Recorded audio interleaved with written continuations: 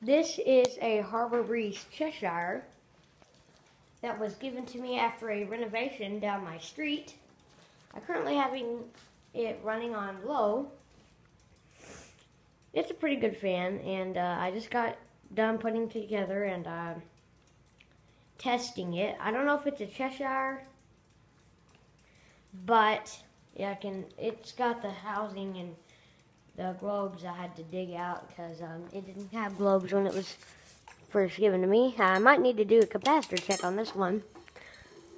I promise you, much of my testing videos are going to be better than this one. Ignore the noise, it's just scraping the side because I have it on the floor.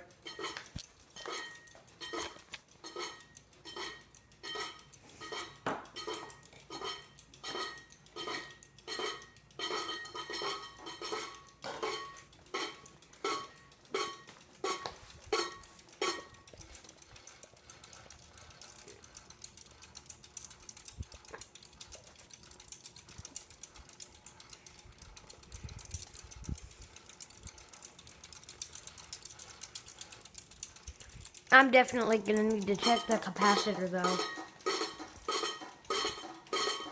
Actually, might be kicking in.